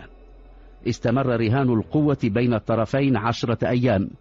تدخل لفض النزاع معارف من الجانبين وتم الاتفاق على أن تكفل السيدة ماما بنت عبد القادر توأما وأن يكفل المختار توأما آخر. كان الشبه كبيرا بين الصبيين. ولما انفض الجمع قفلت العجوز بأحد التوأمين إلى تندوف وقالت إنها ظفرت بالحسن. ومضى المختار بالتوأم الآخر إلى فيجيج وقال إنه أتى بالحسن ابن ولده عبد الرحمن. في العام 56 900 وألف وكان المغرب قد حصل على الاستقلال عمد الاحتلال الفرنسي في الجزائر إلى تشديد الرقابة على المناطق الحدودية. كانت المقاومة الجزائرية تحظى في الجانب المغربي بكل الدعم والمساندة. لم يعد التنقل بين الجانبين بتلك السلاسة المعهودة. صار متعذرا وفي أحيان كثيرة مستحيلا. بدأت تجارة الحلي الفضية التي يصنعها المختار السجلماسي وشريكه موشي بن عمران تعرف بعض الكساد وهو ما اضطر الشريكين إلى الانتقال إلى الدار البيضاء حيث فتح متجرا متواضعا في المدينة القديمة. بعد فترة قصيرة تمكن من تحقيق أرباح هامة وصار من أشهر صاغة الفضة في الدار البيضاء. هكذا نشأ الحسن التوأم الذي كفله جده لوالده في الدار البيضاء. سهر جده على تعليمه ولما حصل على شهادة الدروس الثانوية عمل الجد بنصيحة صديقه موشي وأدخله ثانوية الخوارزمي ليتعلم صناعة الحلي. كان الجد يريد للفتى أن يرث عنه محل صياغة الحلي الفضية. وقتها لم يكن عمره يتجاوز أربعة عشر عاما. التوأم الآخر وقد سمته جدته لأمه التي كفلته بالحسن أيضا نشأ في تندوف. كانت الجدة قد آلت على نفسها أن تضمن للفتى تنشئة إسلامية عربية غير أن الأحوال في تندوف تغيرت لما ألحقتها فرنسا بالجزائر. كان والدها فقيها وسعت إلى أن يرث الصبي جده لأمه في علمه وفقهه لكن الظروف حالت دون ذلك ولم يتعلم من اللغة العربية سوى القليل. تعلم الفرنسية في الخامس عشر من عمره حصل على شهادة الدروس الثانوية. شاءت الأقدار أن ترحل الجدة في ذلك العام وتركت له كل ما كانت تملك. وبينما كان الحسن الآخر يتابع دراسته في الدار البيضاء كان الحسن في تندوف يواجه قدره. بعد أن توفيت جدته لم يعد هناك من ينصحه ويوجهه. لم يعد ممكنا في مثل تلك الظروف أن يواصل دراسته. لما بلغ السادس عشر من عمره كان قد تعلم من الرذائل معظمها. تعاطى الخمر وصار من رواد أماكن اللهو. التف حوله عدد من أصدقاء السوء بينما انهمك هو في تبديد الثروة التي ورثها عن جدته ماما بنت عبد القادر. في العام 66 900 وألف وكانت الجزائر قد نالت الاستقلال قبل أربعة أعوام اشترى الحسن سيارة كان يجوب بها الطرقات رفقة أصحابه. ذات يوم دهس بسيارته رجلا فقتله. كان في حالة سكر. فر من المكان ولكن سرعان ما ألقي عليه القبض وأودع السجن. حكم عليه بدفع الدية لذوي القتيل. باع ما كان قد تبقى من ممتلكات ورثها عن جدته وسدد الدية. أطلق سراحه ولكنه صار الآن فقيرا لا يجد ما يسد به الرمق. تفرق من حوله الأصحاب وصارت تبتعد كل يوم ذكريات تلك الأيام الماجنة. تندوف لم تعد هي تندوف. حتى الجزائر ضاقت عليه بما رحبت. بدأ يفكر في الرحيل. صارت ذكرى أيضا مجرد ذكرى بعيدة تلك الأيام التي قضاها رفقة فاطمة بنت عبد الرزاق التي تزوجها وخلف منها ولدا يذكر أنه سماه عبد القادر تيمنا بجده لأمه. طلقها ورحلت عائدة إلى الراشدية. في غمرة سنوات المجون ضاعت منه. كان في السابعة عشر من العمر. ضاع منه كل شيء. كان للحسن صديق فرنسي ساعده على السفر إلى فرنسا. استقر به الأمر في أطراف مدينة ريوم القريبة من كليرمون فيرون هناك في العام 72 900 وألف تعرف إلى فتاة تنحدر من أسرة عريقة. أغرم بها وأغرمت به وتوج علاقتهما بالزواج تبدلت حياته وانقلبت رأسا على عقب. صار شابا يحكم حياته نظام بديع. كان كل وقته لعمله ولزوجته الشابة. رزق الزوجان بمولودهما الأول. كانت مولودة أسمياها ماما. وافقت زوجته على أن يمنح المولودة اسم جدته من أمه. لم تكن زوجته ترى في ذلك الاسم ما يتعارض مع قناعاتها الثقافية والدينية. بعد ماما رزق الزوجان ببنتين سارة وماريا. كانت الحياة تسير على إيقاع من السعادة. ولما بدأ يتكون وعي البنات كان الحسن يحاول إقناعهن بأنهن مسلمات بحكم أنه مسلم ولو أنه لا يؤدي الصلوات ولا يصوم رمضان. وقتها بدأت تتدخل زوجته لتبدي اعتراضها. لما بلغت البنت الكبرى ماما ربيعها الخامس عشر لم تعد تكترث لما يقوله والدها. توصل مع زوجته وأهلها إلى اتفاق يقضي بأن يترك البنات وشأنهن إلى أن تبلغن الثامنة عشرة فتخترن الديانة التي ترتضين. ذات يوم اكتشف أن ابنته ماما ذات الخمسة عشر ربيعا تتخذ من الأولاد أصدقاء لم يتقبل الأمر. نهاها فلم تنتهي وتطور الأمر إلى أن ضربها. يومها توصل باستدعاء من مفوضية الشرطة. كان عليه أن يراوغ حتى لا ينتهي به الأمر وراء القضبان. تعهد بأن لا يضربها ثانية. في ذلك اليوم وفي تلك اللحظة أحس الحسن بأن المحيط الأسري الذي يعيش فيه لا يتقبل هويته الثقافية ولا الدينية. في ذلك اليوم في تلك اللحظة قرر أن يساير التيار في انتظار بلوغ سن التقاعد النسبي. في ذلك اليوم في تلك اللحظة اتخذ قرارا بالعودة. العودة إلى أين؟ إلى الجزائر أم إلى المغرب؟ كان المغاربة القادمون من الدار البيضاء يحدثونه عن الشبه الغريب في الصفة والاسم بينه وبائع المجوهرات المعروف في الدار البيضاء الحسن السجلماسي قرر العودة يذكر أن جدته كانت تحدثه عن شقيقه الحسين الذي كفله جده لأبيه كان ينتظر أن يحين موعد استفادته من التقاعد النسبي في الدار البيضاء رأينا التوأم الآخر الحسن يترعرع في كنف جده الذي حرص على تعليمه وتربيته وجهه إلى ثانوية الخوارزمي حيث تعلم التقنيات الحديثة في صناعة الحلي والمجوهرات. بعد تخرجه ساهم مع جده في تطوير صناعة الحلي الفضية. وبعد بضع سنين افتتح محلا له في شارع الأمير مولاي عبد الله. لم يكن قد تزوج بعد. كان جده المختار السجلماسي يتوق إلى رؤية أحفاد ولده عبد الرحمن ولكن الأجل المحتوم باغته. توفي الجد في العام 82 900 وألف. بعد بضعة أشهر اختار الحسن فتاة من إحدى العائلات المعروفة في الدار البيضاء لتكون زوجة له. كان الزوجان سعيدين غير أنهما لم يرزق أبناء. بمرور السنين بدأ الموضوع يقض مضجعهما أبانت التحاليل الطبية أن الحسن السجلماسي مصاب بالعقم بينما زوجته خالية من كل عيب. رضي الرجل بقضاء الله بينما ظلت زوجته تبحث عن حل. وذات مرة فوجئ الحسن بالطبيب وبزوجته يقترحان عليه أن يتم تلقيحها بماء رجل غيره. يا لهول ما اقترح عليه. رفض الرجل بشدة ساءت علاقته بزوجته وصار يشك في وفائها. جعلها تحت المراقبة وذات يوم فاجأها وهي في سيارة شخص غريب طلقها. ظل الحسن متفرغا لتجارته. صار الآن تاجرا معروفا في الدار البيضاء. مرت الأيام والسنون.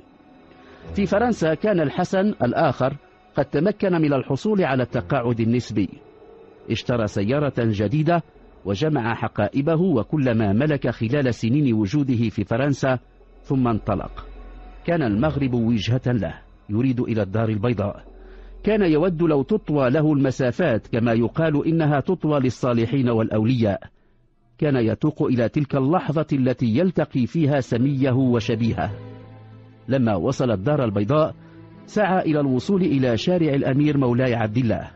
لما وصل الشارع ركن سيارته وما هي إلا خطوات حتى وجد نفسه أمام محل الحسن السجلماسي لبيع المجوهرات. تقدم نحو الباب. ذهل. فالرجل الجالس وراء طاولة المعروضات النفيسة يشبهه بشكل خرافي. رفع الحسن بصره فإذا به برجل يشبهه تماما. كان الحسن صاحب محل المجوهرات يعلم أن له أخا توأما اسمه الحسين. احتضنته جدتهما من أمهما. كان علمه أن اسمه الحسين. لفترة لعلها ثوان وربما كانت دقائق ظل الرجلان يتبادلان النظر إلى بعضهما وفجأة خرج الحسن وارتمى في حضن الرجل الواقف أمامه ضمه إليه بحرارة. ألست الحسين السجلماسي؟ لا رد الرجل. أنا الحسن السجلماسي وأنت الحسين. لا أنا الحسن. كان يبكيان كما لم يبكيا من قبل. كانت دموع فرحهما غزيرة ابتل لها وجهاهما. غادر المتجر الفاخر. لم يناما تلك الليلة. ظل كل واحد منهما يحكي للآخر كيف مضت السنون السابقة من عمره. كانت تستوقفهما كل اللحظات وكل التفاصيل. علم الحسن القادم من فرنسا أن جده المختار السجلماسي حاول مرات عديدة ربط الاتصال به ولكن النجاح لم يحالف مساعيه. تذكر وهو يحكي لأخيه ما مضى أنه تزوج فتاة من الراشدية اسمها فاطمة بنت عبد الرزاق وأنه رزق منها بولد سماه عبد القادر تيمنا بجده لأمه. سر الحسن تاجر المجوهرات لهذا الخبر فأن يكون لشقيقه ولد ذكر يعني امتدادا لسلالة المختار السجلماسي قضى الشقيقان شهري رجب وشعبان لا يفترقان لا حديث لهما إلا عن مسار حياتهما. ولما اقترب شهر رمضان اقترح الحسن بائع المجوهرات على شقيقه أن يقوم بزيارة إلى تافلالت مسقط رأس والدهما وأن يزور الراشدية بحثا عن الولد الذي رزقه الحسن من مطلقته فاطمة بنت عبد الرزاق. كان الحسن بائع المجوهرات يعاني من مرض في المعدة وكان الأطباء ينصحونه بأن لا يصوم حفاظا على صحته ولكنه كان يصر على الصيام إيمانا منه بأن الصوم في مثل تلك الظروف الصحية الصعبة يكسبه المزيد من الأجر والثواب. لما بلغ الراشدية وكانت قد انقضت بضعة أيام من رمضان أحس الحسن بألم شديد يمزق معدته. كان صائما أغمي عليه. سعى شقيقه إلى توفير الإسعاف. لما أفاق الحسن أشار إليه بطلب طائرة لنقله إلى الدار البيضاء. قال إن التأمين الصحي الذي يستفيد منه يوفر له ذلك. بعد بضع ساعات كان الرجلان يحلقان على متن طائرة طبية. لما حطت الطائرة في مطار الدار البيضاء كانت سيارة إسعاف في الانتظار. نقل الحسن بائع المجوهرات إلى إحدى المصحات المعروفة في الدار البيضاء. كانت حالته خطيرة كان في غيبوبة. وقبل أن ينبلج صبح اليوم التالي كان قد أسلم الروح إلى بارئها. بقي الحسن العائد من فرنسا تحت وقع الصدمة عدة أيام وكان قد فقد حقيبة أوراقه وضمنها جواز سفره الفرنسي خلال نقل شقيقه من الراشدية. تذكر أنه نسيها في سيارة الإسعاف التي نقلتهما إلى المطار. علم لاحقا أن المؤمن قام بكل الإجراءات وبأن شقيقه التوأم قد وري ثرى في الريصان كما أوصى بذلك زوجته التي حضرت من فرنسا. أيقن الحسن أن شقيقه دفن باسمه هو وبوثائقه هو فقد تم استعمال حقيبة وثائقه التي ضاعت منها لإعداد كل الوثائق التي تخص الدفن. ذات صباح رن جرس المنزل. فتح الباب فإذا بأحد عمال مصنع الحلي يطالبه بشيك بالمبلغ الذي يتيح دفع أجور العمال وشراء بعض متطلبات المعمل. لم يكن العمال قد علموا بعد بوفاة مشغلهم وقع الحسن على شيك بالمبلغ المطلوب. ولما مضى العامل إلى البنك رفض الموظف صرف المبلغ لأن التوقيع الموضوع على الشيك ليس توقيع صاحب الحساب البنكي. كان الحسن قد تعامل بشيء من الفظاظة مع العامل وهو ما أثار استغرابه فقد تعود الحديث اللين من مشغله الحسن السجلماسي. عاد العامل ويدعى عمر إلى بيت مشغله خرج إليه الحسن ولما أبلغه بما حدث استمهله لحظات ليعطيه شيكا آخر. في تلك الأثناء تفطن العامل إلى أن الذي استقبله ليس مشغله الحسن. كان الحسن صائغ المجوهرات قد فقد جزءا من سبابة يده اليسرى بينما الذي أمامه مكتمل الأصابع. كان العامل من الأوفياء للحسن السجلماسي بائع المجوهرات ولذلك قرر أن يقصد مفوضية الشرطة ليبلغ عن الأمر. استمع عميد الشرطة عبد الرحيم المضارع إلى أقوال العامل الشاب. انتقل إلى المؤسسة البنكية التي رفضت صرف الشيك تبين للعميد أن التوقيع الموضوع على الشيك ليس توقيع صاحب الحساب. كان العميد قد استخرج نسخة من الجذاذة الخاصة بالحسن السجلماسي وكان واضحا أنه فقد جزءا من سبابة يده اليسرى. قصد العميد إلى منزل الحسن السجلماسي. فتح الباب فإذا بالعميد بالرجل. سأله عن اسمه فقال أنا الحسن السجلماسي.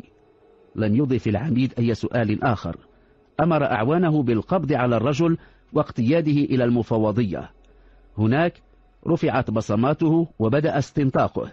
بالنسبة للعميد فإنه ينتحل شخصية الحسن السجلماسي بائع المجوهرات المعروف. أفضى الرجل إلى المحققين بأنه الشقيق التوأم للحسن السجلماسي وبأنه بدوره يحمل اسم الحسن. حكى قصة افتراقهما إلى أن التقيا. حكى السفر إلى الراشدية بحثا عن الولد الذي رزقه من زوجته فاطمة بنت عبد الرزاق. تحدث عن وثائقه التي ضاعت والتي اتخذت هوية لشقيقه الهالك. قال إنه كان يسعى لاستعادة هويته المغربية لما وقعت كل تلك التطورات. بعد أن اتصل بالقنصلية الفرنسية لتجديد وثائقه وصف بالنصاب. صار بلا هوية وقرر أن يستغل هوية شقيقه الهالك فهما يتشابهان خلقة واسما. تم وضع الرجل رهن الاعتقال الاحتياطي.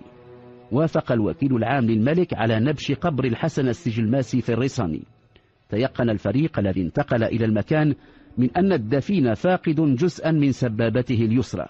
في سياق هذه القضية تم إحياء قضية قديمة بحث عن الحسن السجلماسي كان قد طالب به ابنه عبد القادر. بلغت مصالح الأمن عبد القادر بأن والده المفترض يوجد رهن الاعتقال الاحتياطي. ولما حضر إلى الدار البيضاء كان المحققون قد توصلوا بنتائج التحاليل المخبرية التي أجريت على عينة من شعر الحسن الهالك وشعر شقيقه. أثبتت النتائج أنهما شقيقان. لاحقا تأكد أن عبد القادر هو الابن الطبيعي والشرعي للحسن السجلماسي القادم من تندوف. طوي الملف.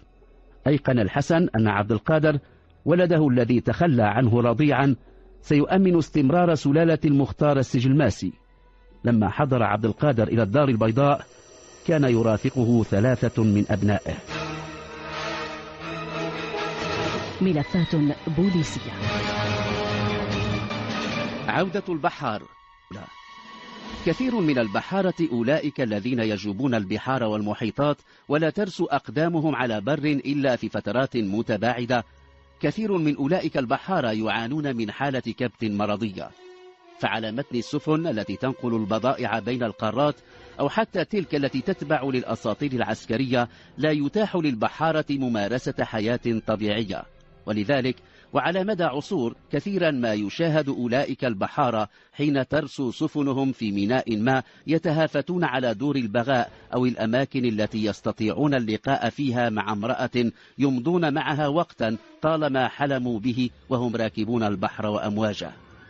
لم تكن حياة يونس الفحام لتختلف عن حياة أولئك البحارة كان مثلهم منذ أن تخرج بدبلوم ميكانيكي سفن من المعهد العالي للتكوين في آسفي. كان في الرابعة والعشرين من العمر يوم أبحر للمرة الأولى. بعد فترة تدريب من سنة واحدة تم توظيفه مساعدا لرئيس الميكانيكيين على متن ناقلة نفط تملكها شركة بترول إماراتية. كان يمضي معظم وقته في قاعة المحركات. كان هديرها يعلو هدير البحر والموج. مع مرور الوقت تعود الشاب على ذاك الضجيج الذي لا ينتهي. كان يحس الفرق الكبير بين تلك الساعات الطوال في غرفة المحركات وحين يكون خارج تلك القاعة. كان يحس براحة لا يستطيع توصيفها يوم يخلو بنفسه أعلى الناقلة حين كانت تمتزج في مرمى نظره زرقة السماء بزرقة المحيط. كان يونس كباقي البحارة يلاحق النساء من بائعات الهوى حين ترسو الناقلة في ميناء من تلك الموانئ التي تنسج فيها خيوط الكثير من الأساطير والحكايات التي لا تمثل فيها الوقائع الحقيقية سوى نسبة ضئيلة. كان العمر يجري بذاك الشاب القادم من آسفي لما تخطى الخامسة والثلاثين لاحظ أنه يفني ما يحصل عليه من مال لقاء عمله الشاق في الجري وراء الشهوات. كان يحس بذلك حين يصعد من جديد على ظهر الناقلة. كانت أخبار أصدقاء الماضي تصله. تزوج أغلبهم وصارت لهم أسر. صارت فكرة الزواج تراوده بل تلح عليه وقد أوشك أن يتم العقد الرابع من عمره. ذات عطلة حضر إلى آسفي. كان ذلك في العام خمسة وألفين. وقد صادفت عطلته تلك إقامة أحد أصدقائه القدامى حفل زفافه. كانت الأجواء البهيجة التي مر فيها حفل الزفاف مما جعله يقرر البحث عن رفيقة العمر وفي أقرب الآجال. وقد التقى خلال تلك المناسبة بشابة لفتت نظره بجمالها ورصانتها. اسمها سلوى العامري كانت في الثلاثين. وقد علم منها أنها تعمل في ميناء أجادير لحساب إحدى الشركات المتخصصة في تموين السفن. تطورت العلاقة وتوطدت بين يونس وسلوى وقد صار يلتقيها كلما عاد إلى أجدير. صار يحرص على قضاء كل عطله بالقرب منها. وعدها بالزواج. ومضى يضاعف الجهد في عمله بما مكنه من الحصول على علاوات ومكافآت. استطاع يونس توفير مبلغ محترم من المال خلال السنتين الأخيرتين. استثمر كل ما توفر لديه في شراء شقة محترمة في أحد الأحياء الجميلة بمدينة أجدير كان كلما رست الناقلة بمدينة اشترى منها هدية لمحبوبته ولما كان يأتي إلى أجدير لقضاء عطلة من بضعة أيام كان يأتي محملا بهدايا كثيرة لسلوى. كانت تتقبلها منه شاكرة لم يكن يخفى عليها ما يكنه لها من حب. في العام سبعة وألفين اتفق يونس الفحام وسلوى العامري على الزواج.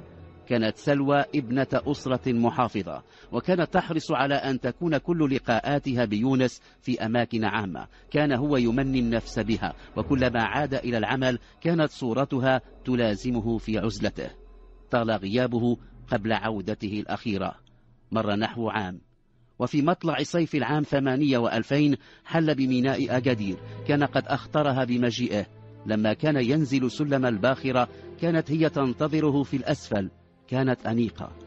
أجمل مما تركها في المرة الأخيرة التي جاء فيها إلى أجدير. وما أن وصل إليها حتى احتضنها وعانقها بحرارة. استقل سيارة أجرة ومضيا إلى تلك الشقة التي كان قد اشتراها. لم تكن سلوى قد رافقته إليها من قبل. وقد وافقت هذه المرة لأنها وضعت فيه ثقتها الكاملة. ألم يتفق على عقد قرانهما بعد أشهر قليلة؟ ما أن حل بتلك الشقة وما أن أغلق الباب حتى أمسك بها بقوة وجرها إلى غرفة النوم. كانت حالته غريبة كان يرتجف ويتصبب عرقا. كان يحاول نزع ثيابها لما صرخت في وجهه لتثنيه عما يريد وليخلي سبيلها. ولكن صراخها ثم توسلها إليه جعلاه أكثر هيجانا. أخرج من جيبه سكينا ووضعه على رقبتها. أمرها أن تضع ثيابها. حاولت أن تقنعه بأنه يستطيع أن ينال ما يريد ولكن عليه قبل ذلك أن يعقد عليها. كان يصم أذنيه. كان ذئبا حقيقيا في حالة هيجان. لم يكن أمام سلوى إلا أن استسلمت له. عبث بها وذهب بشرفها ولما قضى وطره وهدأ عاد إلى صورته الأولى عاد كما عهدته من قبل يونس الذي أحبها وأحبته كان يبكي. اعتذر لها عن الذي صدر قال لها إنه على استعداد أن يعقد عليها وفي الحال. فتح إحدى حقائبه وأخرج منها الهدايا التي حملها إليها. كل ذلك لم يحرك ساكنا في نفس سلوى المكلومة. الجرح الذي خلفه في نفسها غائر ولا صورة لها عنه الآن سوى صورة الوحش الذي هاجمها وأخذ منها كل شيء. تذرعت بأنها بحاجة إلى العودة إلى الميناء لضرورة العمل ثم غادرت الشقة صارت تحتقره وتود لو تستطيع الانتقام لشرفها. توجهت إلى مقر مفوضية الشرطة بالميناء ذهبت تستشير إحدى مفتشات شرطة الحدود كانت تعرفت إليها. أنصتت إليها. استغربت لأنها لم تسمع من قبل عن خطيب يغتصب تلك التي ينوي الزواج منها. عرضت عليها أن تساعدها في الوصول وحالا إلى مكتب رئيس المصلحة الولائية للشرطة القضائية الذي بحكم تجربته يستطيع أن يبين لها الطريق التي عليها أن تسلكه. لما استقبلها وعرضت عليه قصتها أبلغها بأنه ليس من حقه أن يبدي رأيا أو يؤثر عليها. ومع ذلك فإنه أبلغ الأمر إلى الوكيل العام للملك لدى محكمة الاستئناف بالنظر إلى أن عناصر الاغتصاب متوافرة من حيث ما صرحت به سلوى. كان رد الوكيل العام أن أمامها خياران أن تسجل شكايتها أو أن تقبل بالأمر الواقع وتتكتم على الذي حدث. في حالة تقديمها شكاية وبمجرد ما أن يتم تسجيلها فسوف لن يكون باستطاعتها التراجع لأن الاغتصاب إذا تم إثبات حدوثه سيصبح جريمة حق عام لا يسمح القانون للنيابة العامة بالتخلي عن متابعة الفاعل. اختارت سلوى العامري تسجيل شكايتها ضد يونس الفحام تتهمه باغتصابها وافتضاضها كانت الخطوة الأولى التي قام بها الباحث في هذه القضية أن وجه سلوى إلى الطبيب الشرعي لفحصها والبحث عن كل وسيلة تثبت المنسوب إلى المشتكى به. رافقتها إحدى الضابطات. وقد أثبت الفحص وجود آثار افتضاض الحديث كما قام الطبيب بعملية كشط مهبلي مكنت من اكتشاف سائل ذكوري تم إرسال عينة منه إلى المختبر. أبلغت النيابة العامة بشكاية سلوى وبالإجراءات التي تم القيام بها. توصل العميد بالأمر بالقبض على المدعو يونس الفحام. وقد دلت سلوى على مسكنه. مثل الرجل أمام الفرقة الجنائية المكلفة بمتابعة البحث. وقد فوجئ الباحثون بالتلقائية التي اعترف بها يونس فقد أقر بفعل الافتضاض وبأنه أجبرها على المضاجعة. كان مصرا على أن ما قام به من حقه ما دام قد وعدها بالزواج وأنه على استعداد أن يعقد عليها في الحين. لم يلاقي العميد أدنى صعوبة في تحرير المحضر. وقد وقع عليه يونس دون ما تردد إذ كان يحسب أن ذلك سيعجل ببداية الحياة الزوجية التي يحلم بها رفقة سلوى. توبع بالمنسوب إليه. كانت اعترافاته واضحة. استفاد من ظروف التخفيف وقد أثبتت خبرة الطب النفسي أن الرجل يعاني من مرض وأن السلوك العدواني لديه قد يصل أحيانا إلى ارتكاب أفعال أكثر فظاعة من الاغتصاب. قضت عليه المحكمة بالسجن النافذ ثلاث سنوات وغرامة مالية هامة وأودع السجن. وقد أكدت محكمة الاستئناف الحكم الابتدائي وحددت الغرامة في مئة ألف درهم لفائدة الضحية. استنفذ يونس الفحام كل ما كان لديه من مال لتسديد تعويضات المحامين وما قضي به عليه من غرامة. لم تكن تلك نهاية القصة. في السجن بدأت مرحلة جديدة في حياة البحار. مضت سلوى العامري إلى حال سبيلها تحاول أن تلملم جراحها وترمم نفسيتها بينما أدخل يونس الفحام السجن. كان في زنزانة آوت قتلة ولصوصا وآخرين من النصابين ومن قبض عليهم في حالة سكر علني. كان بين نزلاء تلك الزنزانة لص محترف كان متخصصا في سرقة المنازل. كانت له قدرة جني في فتح الأقفال. ولا يصمد أمامه أي قفل مهما تعقدت تركيبته. أنفق يونس الفحام كل ما كان في حسابه البنكي لدفع أجر المحامين الذين تولوا الدفاع عنه وتسديد قيمة التعويض المحكوم به لفائدة سلوى. ثم ما لبث البنك الذي أقرضه بعض المال لإتمام شراء الشقة أن رفع دعوى ضده يطالب بسداد القرض بعدما تراكمت الأقساط غير المؤدى. ثم بيعت الشقة في المزاد العلني.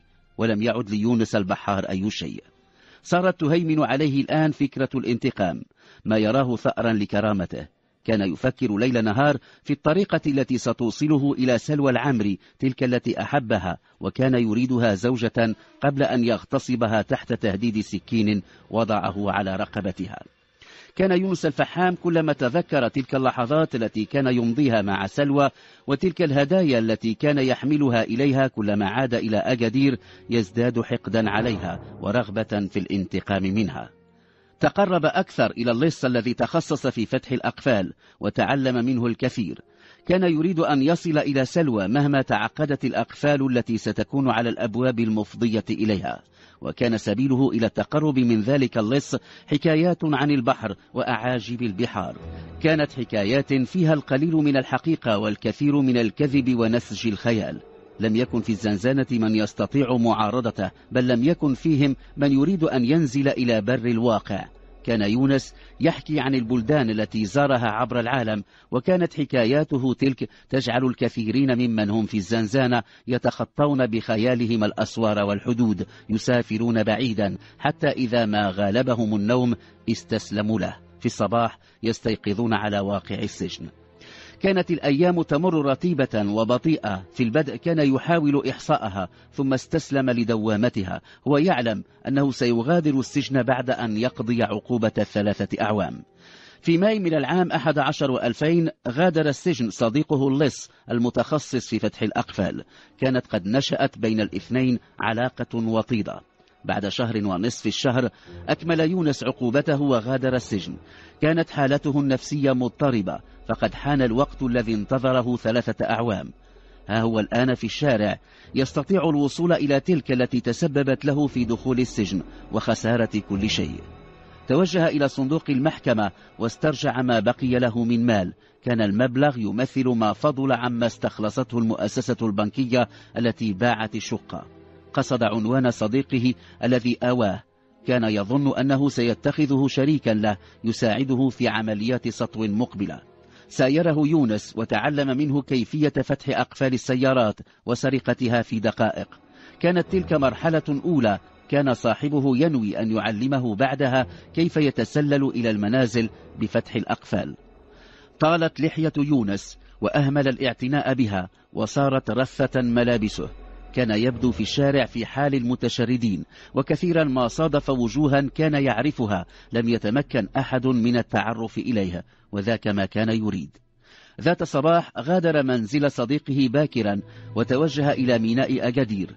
كان يحاول العثور على سلوى ظل يتجول في الميناء عدة ساعات. لم تظهر سلوى ولم يكن بمقدوره أن يسأل عنها أيا كان وهو في تلك الحالة من الإهمال والاتساخ. كان الجو حارا ولما أعياه التنقل في الميناء آوى إلى ظل شاحنة مقطورة كانت مستوقفة غير بعيد عن مقر شركة التموين التي تعمل بها سلوى. هو لا يدري إن كانت لا تزال تعمل بها. أخرج من كيس بلاستيكي قطعة خبز كان قد وضع بها سمكا مصبرا وراح يقضم منها وفجأة توقفت أمام باب الشركة سيارة تبدو جديدة. نزلت منها امرأة أنيقة الملبس ما أن نظرت إلى جهة الشاحنة المقطورة حتى تعرف إليها إنها سلوى. صارت متسارعة نبضات قلبه. منذ ذلك اليوم صار يلاحقها لم يكن لأي كان أن يتعرف إليه وهو في الحالة التي كان عليها. لاحقها في الميناء وخارج الميناء وفي مرات كثيرة هم بالإطباق عليها ولكن وجود المارة كان يحول دون ذلك. خطط يونس لخطف سلوى بطريقة لا تستطيع الإفلات منه ولا أن يغيثها أحد. مساء السابع عشر من غشت من العام أحد عشر وألفين وكان يوم أربعاء كان يونس يجوب الشوارع بحثا عن سيارة يسرقها. في زنقة متفرعة عن الشارع الرئيس في أحد الأحياء الشعبية ظهرت له سيارة نفعية. لم يكن المكان مضاء بما فيه الكفاية. لم يظهر له وجود لحارس أو أي شخص آخر. أخرج من جيب معطفه المتسخ حزمة من المفاتيح كان قد حصل عليها من صاحبه اللص. في ثواني معدودات تمكن من فتح الباب. تسلل إلى الداخل. كان في جملة المفاتيح التي معه مفتاح يصلح لكل الأقفال. أدار المحرك ثم انطلق بالسيارة. مضى إلى مكان على الشاطئ. كان الجزء الخلفي من تلك السيارة معزولا عن مقصورة السياقة ولم تكن به نوافذ. قام بتخريب القفل الذي صار بذلك متعذرا أن يفتح من الداخل. كانت خطة خطف سلوى قد اكتملت في ذهنه كما أنه وفر وسيلة القيام بها. كانت ملاحقته لسلوى خلال الأيام الأخيرة قد جعلته يتعرف إلى محيط العمارة التي تسكنها. في صباح الثامن عشر من غشت من العام أحد عشر وألفين أوقف السيارة التي سرقها في باب العمارة وفتح بابها الخلفي. كان الأمر يبدو وكأن أحدهم أحضر السيارة إلى هناك لحمل أثاث أو ما شابه. لم يطل انتظاره أكثر من نصف ساعة ثم ظهرت سلوى بباب العمارة. كانت أنيقة. كانت سيارتها في الجانب الآخر من الطريق. وما أن وصلت بمحاذاة باب السيارة المفتوح حتى أسرع يونس ودفعها إلى داخل السيارة ثم أقفل الباب. لم يسمع صراخها أحد. مر كل شيء في لمح البصر. ركب يونس وانطلق بالسيارة. حاولت سلوى عبثا فتح الباب. حاولت أن تنتقل إلى مقصورة السياقة ولكن شباكا حديديا كان يحول دون مرورها. كانت السيارة تبتعد عن المدينة ثم وصلت إلى منطقة غابوية. لاحظت سلوى أن السائق دخل الغابة. توغل فيها عميقا ثم توقف. كان وجهها ملتصقا بالشباك الحديدي تحاول أن تستكشف المكان. استدار السائق إلى جهتها. كان منظره مرعبا. كانت لحيته كثة ومتسخة وكانت في نظرته كل معاني الشر. كانت على رأسه قبعة بالية. أزالها ثم قال لها هل تعرفين من أكون أيتها الجميلة؟ أمعنت النظر إليه ثم قالت أنت يونس يونس البحار. هلا قلت يونس المجرم المغتصب. أنت يونس خطيبي السابق. ضحك. لما لا تقولين كما قلت للشرطة أنني يونس الوحش؟ لما لا تقولين كما قلت أمام المحكمة حين تناسيت كل ما كان بيننا وألقيت بي إلى السجن وكنت السبب في إفلاسي. صمت قليلا. كانت هي تبكي. ثم استأنف كلامه. يوم حدث الذي حدث كنت أظن أنني قمت بشيء أعتبره من حقوقي. لم أكن أحسب أنني أغتصبك. اليوم سأغتصبك وسألاحقك إلى قاع الجحيم. هما أمران لا ثالث لهما. إما أن تستسلمي وإما أن أذبحك بهذه السكين. قالت له ما الذي يضمن لي أنك لن تقتلني؟ قال سأضع السكين في مكان ترينه. وضع السكين وخرج من السيارة ثم انفتح الباب الخلفي. قال لها أن تضع ثيابها. لما نال ما يريد ارتمت عليه من الخلف وحاولت أن تخنقه وهي تصرخ. لحظتها أخرج من جيبه سكينا آخر ووجه إليها طعنة على مستوى القلب. أغلق الباب وعاد إلى مقعد السائق. انطلقت السيارة مغادرة تلك الغابة بأطراف أجدير في موقف للسيارات غير بعيد عن الميناء ركن يونس السيارة وبداخلها جثة سلوى. ظلت هناك بقية النهار. وفي صبح اليوم التالي لاحظ أحد المارة وجود تلك السيارة لفت نظره إليها الدم الذي كان يتسرب من بابها الخلفي. كانت الساعة تشير إلى السابعة والنصف صباحا لما وصل عميد الشرطة المكلف بمصلحة المداومة. بدأت التحريات بعد أن أبلغ الوكيل العام للملك باكتشاف جثة امرأة مقتولة داخل تلك السيارة التي سرعان ما تبين أنها كانت مسروقة. تحلق الفضوليون حول المكان وأضحى شبه مستحيل القيام بالإجراءات ورفع الأثار. قرر العميد الاستعانة برافعة نقلت السيارة إلى مقر المفوضية. نقلت الجثة إلى مستودع الأموات. لم تمكن المعاينة من العثور على ما يقود إلى الفاعل. في مستودع الأموات أكد الطبيب الشرعي أن المرأة ماتت قبل عدة ساعات وأن وفاتها نتجت عن الطعنة التي أصابتها من جهة القلب كما استنتج أنها قبل مقتلها تعرضت للاغتصاب. وقد عثر على أثر سائل ذكوري تمت إحالته على المختبر. كان الباحث يواجه تحديا حقيقيا. مكنت قراءة البصمات من تحديد هوية الضحية سلوى العامري. امرأة في الثالثة والثلاثين لا سوابق لها. قام المفتش المكلف بالتنقيب عن المعطيات بتنقيطها في المستندات العامة. اكتشف أنها كانت قبل ثلاثة أعوام ضحية اغتصاب. كان من اغتصبها هو يونس الفحام. علم الباحث أنه أنهى عقوبته الحبسية قبل أيام وغادر السجن إلى مكان غير معلوم. جاءت التحاليل المخبرية تثبت أن السائل الذكوري الذي عثر على آثاره على جثة الضحية يتطابق تماما مع السائل الذكوري الذي مكن من إثبات اغتصابها قبل ثلاثة أعوام من قبل يونس الفحام. ركز الباحث على رفاق يونس في الزنزانة وسرعان ما تبين له التقارب الذي كان بينه واللص الخبير بفتح الأقفال. تمت مراقبة منزل شقيقة اللص وبعد يومين كان في قبضة الشرطة. كان الطعم الذي قاد المحققين إلى يونس الفحام الذي لم يكن قد غادر آجدير بعد تم القبض عليه. وكما في المرة السابقة اعترف بكل منسوب إليه. تمت متابعته بالقتل العمد مع سبق الإصرار والترصد والخطف والاغتصاب والسرقة. السلام عليكم. لا تنسى الإعجاب والاشتراك في القناة وتفعيل زر الجرس. واترك تعليقا ومشاركة الفيديو مع الأهل والأصدقاء في واتساب فيسبوك، إنستغرام. هذا فضلا وليس أمرا.